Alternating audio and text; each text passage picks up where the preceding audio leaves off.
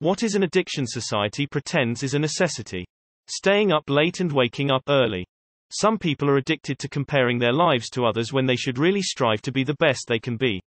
Trying to outperform others leads to endless frustration, but trying to outperform yourself leads to true improvement. 24 hours cable news. Working overtime and doing more work than the job description entails. Social media. Trying to look the best on social media. I don't get it and never will. Having to upgrade your electronics every couple of years. And expensive weddings. That shit is not normal. Caffeine. The entire, side, hustle culture. I understand the need, desire and do it myself too. But I find it insane that we need to monetize almost every waking moment. Consumerism. Consuming alcohol. Edit. Thank you kind stranger for the award. My first one ever, woo. Sugar. Working extra hours for free. The organization will gladly let you work for free but absolutely shouldn't do it. Source. Team leader that protects my team from this. Oncoming fist light skin tone white heart. Alcohol. I'm so tired of people telling me I'm not living my life cause I don't drink. Unlimited growth. Five day work week. Relationships. It is okay to be alone. Weed. I'm a former stoner and honestly my life is much better sober. Yet so many people act like smoking weed all the time isn't really that bad and, it's basically medicine. Nah fam you're emotionally dependent. I still smoke occasionally but I don't miss weed being an everyday thing. Edit, my first gold. Thank you smile. Porn.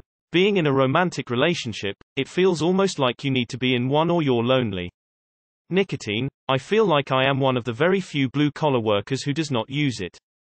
Alcohol. I'm a doctor and when I ask if someone smokes they say no, smugly. When I ask if they drink, they gush and joke about how happily they do so. Alcohol is pretty much the worst drug IMO. It's devastating. Working oneself to death. Having people validate you. Being too connected to friends or social media, you don't need to be constantly on your phone and stopping what you are doing every five minutes to look at your phone. Constant profit. It's called greed, and not only unnecessary but is extremely dangerous. It is not sustainable. Edit, a word. Debt. Coffee. Getting stuff delivered ASAP. Not as grandiose as some others in here, but coffee, caffeine. I'm not judging anyone who uses it, you do you, everyone has some addiction, but it's creepy how intricately tied it is to so many people's daily routines and socialization. Like people who claim to barely be able to think before their morning coffee. That seems like a serious addiction. Being a fully grown adult who knows exactly what they want todo and how todo it as soon as someone turns 16 18. Alcohol. It's really not necessary to have a fun and active social life. Yet it has tremendous PR glamorizing it, and of course prohibition didn't work. Yet research indicates that it's carcinogenic and that the industry knows this, like big tobacco, and doctors want it to have warning labels, like cigarettes.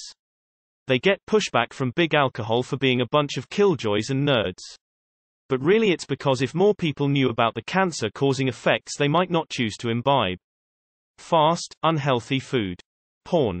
The lotto. It's really fun to imagine what you would do if you won. If you're not blowing tons of money on it. That could be worth it right there. But it's so expensive, and your chances are like 0.00001 of winning something you can retire with. Watching the news. Sugar. Especially in America everything has to be sweetened. Cup of coffee, sweeten it. Water? PFFT no. Carbonated sugar water. Actually healthy baby food and snacks? Absolutely not. Add some sweetness to it. Sugar affect all aspects so bad to the point that society doesn't even consider snacks good or any foods to be tasteful unless there is some sort of sweet factor to it. Social media. Internet. Sugar. They've snuck sugar and high fructose corn syrup into everything because it's so cheap from government subsidies. Gambling compulsive gamblers tend to remember the highs of the wins and block out all the times they lose. The excitement of the next win distorts their reality and the level of risk they are taking with their money and possessions.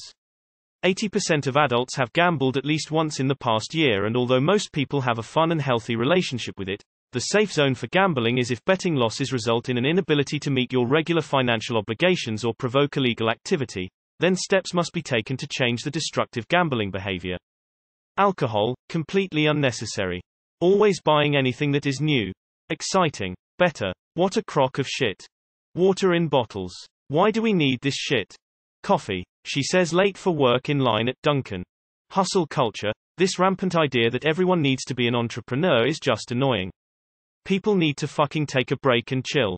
Shopaholic. Animal products and byproducts for any purpose. Work ethic.